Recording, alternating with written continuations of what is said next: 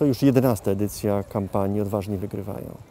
Profilaktyka nowotworu jądra to profilaktyka w obszarze choroby, która wcześniej wykryta daje stuprocentową możliwość wyleczenia. Bardzo się cieszę, że Gdynia od samego początku patronuje tej kampanii i współpracuje z organizatorami. Odważni wygrywają. Bądź odważny. Badaj się.